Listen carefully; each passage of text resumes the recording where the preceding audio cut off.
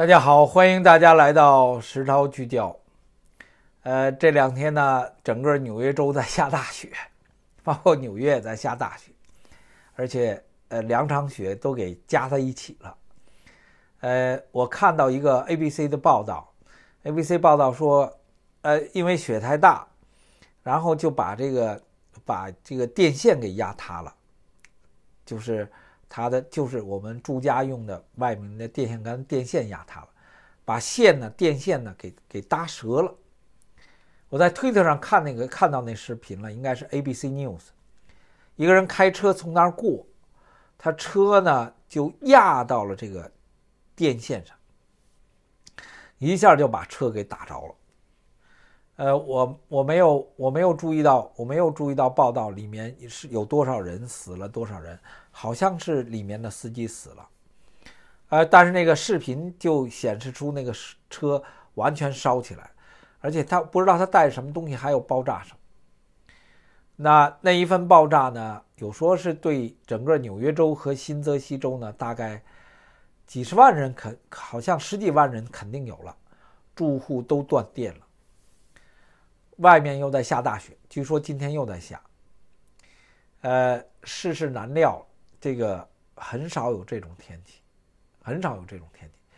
那前两天呢，温度还上了大概十六七度啊。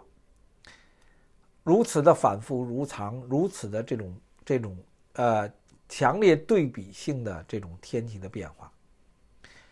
而我住的地方呢，前两天跟大家说过一个，就是一个做园艺的，一个做园艺的老头杀人，主动杀人。呃，抓他的时候呢是杀了五个，到了昨天的时候，他杀了人，把这人给剁了，然后把那个残骸呀，就那肉块儿，因为他不做园艺的，给人做园丁嘛，给人埋在家院花园里去。你都想象不到的，呃，现在又找了俩，所以他现在名头上杀了，直接杀了七个人。那看来呢，警察是发了狠的，要把过去十年乃至十五年里失踪的人，呃，都要画身上。而他是个老头而被他杀的人呢，都是男人。呃，有人说是同性恋的可能了，呃，但是我个人我不知道了，因为。咱们就看这种事儿了。嗨，我自己当时看就是毛骨悚然的。其实毛骨悚然的，我看几乎大家的评论也是毛骨悚然的。呃，给我第一个直觉就是这不是人，这个这个不是，这不是人，这个这个我说不是人的意思就是，不是形容他不是人，而是他真实的。内在的生命里面可能真的就不是人，那因为你很难想象，嗨，呃，如果他是同性恋的话，那这些人在生前曾经跟他有过身体上的接触啊，有过关系啊，在这种类似，因为抓他的时候呢，是是直接的证据是，他把另外一个男人给绑在床上，结果警察冲到屋里去呢，那个人在床上。哎，这就是今天的世界，今天的环境。而这个人呢，表现出来据说很谦卑的样子。你看那样按照咱共产国内的共产党的教育的说法，说咱一说说那人怎么样？哎，他是好人还是坏人呢？哎，对吧？看电影就是谁是好人呢？谁是坏人呢？先分清楚来，谁是好人，谁是坏人，然后看怎么打。然后心里就说坏人得死，好人得好，坏人得死好。就哎就，哎呀，是共产党的这种教育，就是就是。呃，丛林法则、无神论的教育，呃，好人对坏人要以不择手段的方式消灭他。那当这种东西出现的时候，在日常生活中绝对伤害着“人之初，性本善”的古训，“人之初，性本善”的生命理念，从而在讨论着到底“人之初，性本善”还是“人之初，性本恶”。结果在今天，主导着，主导着呃生命思维的中共意识形态的人，当年三十多年前的标题竞赛标题就是“人之初，性本恶”。他是正方，所以他必须去证明“人之初，性本恶”是对的。反方的“人之初，性本善”呢，全输了，他五比零赢了人家。王沪宁啊，王沪宁带着这个，王沪宁带的这个，呵，呃，应该是复旦大学的辩护队。而在这辩护队当中呢，只有一个女的，啊，只有一个女的。后来的中央电视台的女主播，在后来二零一二年、二零一三年，在薄熙来出事之后呢，本来薄熙来这事儿都没什么了，结果这位女士突然，在我忘了是在推特上是在 Facebook 上就发消息、发照片。地中海沿岸的豪宅，然后他说：“我是看房者啊，我是替人看房子的，这房子不是我的。”哎，一看呢，就是曾经的王沪宁的学生，嫁给了一个英国人，而他的故事呢，说这英国人在头一年的报税呢，大概只有三万多，是两万多英镑，啊，低收入者那属于，啊。自己做买卖，但是报税的额度只有这么点低收入者。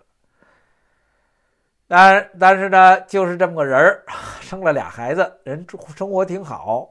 这个低收入者呢，人家帮着江的，帮帮着这个伯伯西来看房子，在地中海。薄熙来那时候给抓了。哎，人生一世不过如此。结果呢，五年之后呢，他的老师，他的导师。成为了今天中国共产党精神领袖，呃，这也他也不叫精神领袖，因为啊哦，是营造精神领袖、描绘精神领袖的啊笔杆子。这里呢，就是你就会看到一代跟一代人，有些事情呢是逃不开的，人跟人之间是逃不开的。没有什么，因为没有所以，在时间的背景下，大家会觉得就说：“哎呀，这是命啊，哈，呃，有点没招了。”另外一个人命命啊，认命，蔡奇。当大家是朋友的时候啊，你你看看自己周围的朋友，有些朋友呢，你见着他就跟他打，但是他离开你呢，你想，太多朋友这样。然后有些朋友呢，你怎么觉得他都是笨蛋？但是没事的时候，你老找他；有事没事的时候，他也找你。但你知道他是笨蛋，他笨蛋这话词儿不好听，就是说他不太会办事儿，但是他对你非常忠心耿耿。你只能这么说，对你非常忠心耿耿。呃，有点像陪衬人的感觉。当然，陪陪陪衬人的小说说的概念跟这不太一样，但是在一堆发包括发小的朋友中。呃，也很难说忠诚超过了智慧、聪明，对吧？君子之交淡如水，小人之交腻如油。那这里面有着相当深刻的，你可以从不同角度去思考。君子之交呢，如果彼此都是君子的话，大家就没那么多话了，这饭也不好吃了。因为人在共产党的环境下，更多的是，呃，无神论的相互妒忌，他怎么能生存呢？哎，为什么讲这话？蔡奇，蔡奇呢，对他传言蛮多。据说呢，反正他这个清理低端人口，他是把自己赔进去了啊，一下全赔进去了。那有说呢，他会从北京调出去，呃，说法不一。开会到今天好几天了，蔡奇一言不发，会后直接走人。哎，这就是，哎，这是啊，据说是中央社、台湾中央社的报道。呃，这个香港的经济日报也是这样。三月八号，北京人大，呃，北呃人大的北京代表团向媒体开放。吸引了很多媒体，这事儿不好办。这个蔡奇这事儿吸引媒体不好办。香港经济日报说，跟其他团组相比，北京的显得相当的严格，不仅以隔离带区隔宽了代表入口，还要求记者在门外排队等候，那就得查记者了。其他大多数代表团都是省市领导开场，而北京的蔡奇罕见一言未发，全程当观众，全程严肃，然后直接离开。哎，他没说那谁去主持的，他没说，对吧？那应该是市长喽。那书记没说话，那书记没说说话，他代表了清理低端人口，他肯定遭到责难了。啊，肯定遭到责难。那遭到责难呢？如果他乖了的话，不说话；如果这个人不太懂事、不乖的话，他会被要求不说话。哎，这个你一定分清楚，这不说话哪来的？呃，我说他被要求不说话呢，是因为他对十九大之后对习近平的赞扬，呃，那是基本有点神经病啊。呃，就就是毫无毫无毫无毫无厘头的赞扬啊！伟大的、英明的、战无不胜的剁手，剁你个大小鬼！剁手，剁这个手啊，那就把自个儿手给剁了。那要 把北京城进行转型，这是他身上的任务。那习近平呢，他也不一定说懂这，要手把手教他。那我相信呢，他会问习近平，但这话就怎么说了，对不对？习近平说：“你砍个石头。”那习近平拿这么大一石头，那轮到他砍石头就改砖头了。而在台湾的中央社就说呢：“清理低端人口成为了蔡奇成为了众矢之的。”而人大代表团的 开放境外媒体的这个旁听呢，呃，就没有让蔡奇接受提问。啊，他讲说严禁媒体接近蔡奇和他相应代表，因为。整个这件事情是北京市委干的，那呃，如果这种表态就就是呃中央社的描绘确实是这样的，表明呃蔡奇清理低端人口这件事情，呃 做了天下最傻瓜的一件事情，啊，也就是说人谁都知道做的事情对错，这是没错的，所以在我眼睛里就是这么回事了。习近平说拿石头拽，他呢就找了这么大石头啊。然后就就干成这样了，那那没招那其实，在我个人眼睛里，在我们现实生活中，周围很多你值得信赖的人，但他的水平就是这样。而人往往是配着对儿来的，你放心吧。人很多人都是配着对儿来的，就我说的意思就是这么配着对儿来的。信得过的人非常好又有能力的不多。王岐山、栗战书跟习近平他们就配了仨。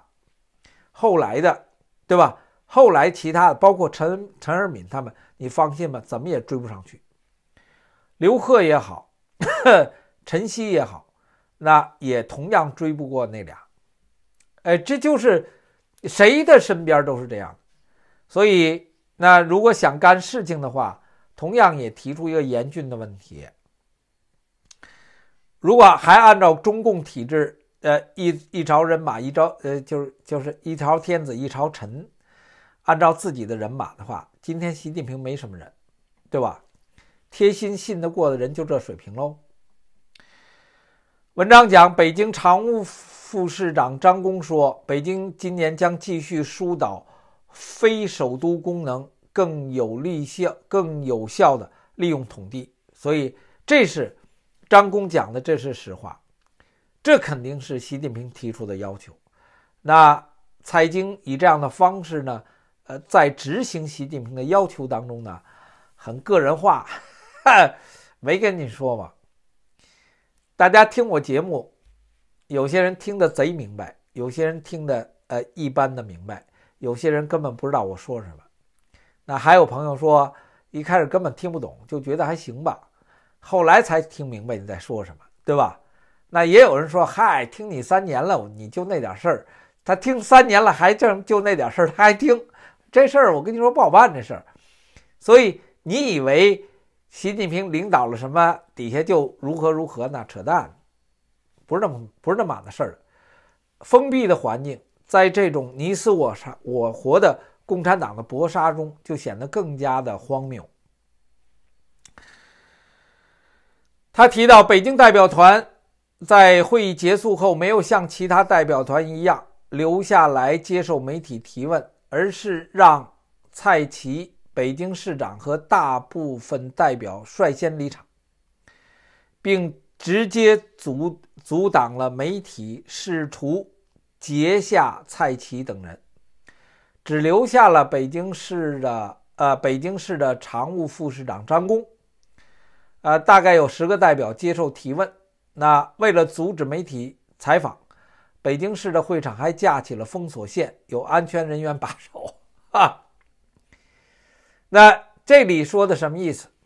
这里在我眼睛里就是，习近平要确保修宪成功，任何人不能给他添乱。那已经添了麻烦的人就闭口，一切。用用绝对的方式把这件事情抹掉，不管外界怎么评价，蔡奇连个哼都没哼哼。你说什么？你只能说蔡奇没出声你不能说蔡奇说了什么。蔡奇绝对不让你说他说了什么，这就是最大限度的确保 修宪在修建过程中干扰修宪的任何事情降到最低点。这就是我个人的看法。